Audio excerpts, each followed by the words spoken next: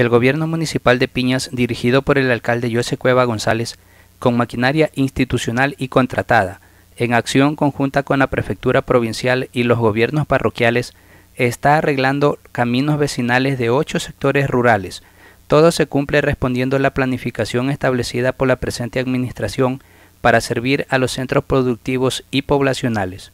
En estos últimos días se arreglaron las vías Piedra Blanca hasta el ingreso del sitio Pueblo Nuevo, la que conduce al sector Nuevo Amanecer. Se habilitó un tramo de la calle Rogelio Sangurima Romero en el sector de Piñas Grande. Se mejoraron las vías a la Primavera, Valle Hermoso, y se trabaja en el arreglo de la carretera desde la urna de San José hasta el sitio La Libertad. Se arreglan las calles de La Bocana y se tiene planificado continuar con la maquinaria contratada en las vías La Libertad, Guayara, Nueva Esperanza, Buenos Aires, San Pedro, El Palto, Moromoro, Palo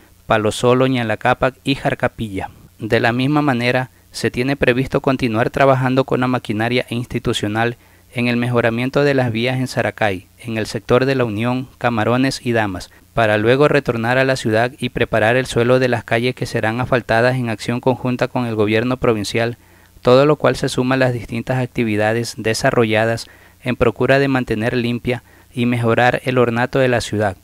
todo en cumplimiento de lo programado y por disposición del alcalde, quien frecuentemente visita los diferentes frentes de trabajo para constatar el avance de los mismos. De acuerdo a la información del Departamento de Obras Públicas en Piedra Blanca, la municipalidad ha venido contribuyendo con material pétreo y cemento para varias obras realizadas en acción conjunta con la comunidad, modalidad institucional que también se ha puesto y se pone en práctica en otros sectores poblacionales de Piñas.